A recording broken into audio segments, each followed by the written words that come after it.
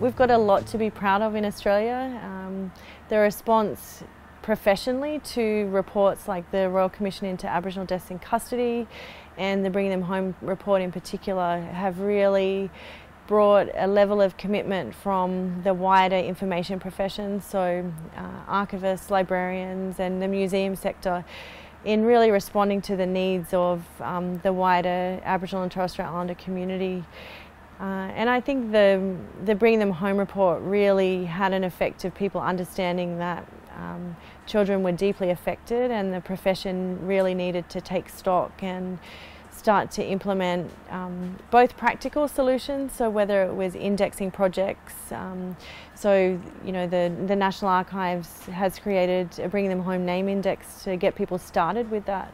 research, um, whereas places like the National Library really responded to the gap in the record. So um, going and working with people and recording their oral histories, and that's a significant legacy. Um, we've seen you know, the Australian Society of Archivists really um, pushing through their networks and encouraging other archivists and professionals to look at what collections they have and to make them accessible.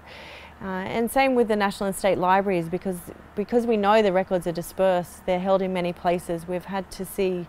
um, quite a large response to this, but I think there's still a lot more to be done. And you know, two decades of work has been significant, but we always need to be reminded that um, this is people's lives and the information is critical for their healing.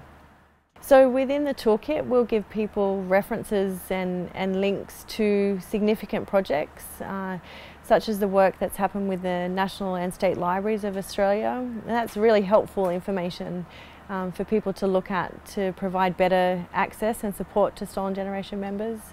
Um, the Australian Society of Archivists has statements available online um, and we'll also point people in the direction of resources, um, oral histories and other material that might be useful for people who want to find out more about this area.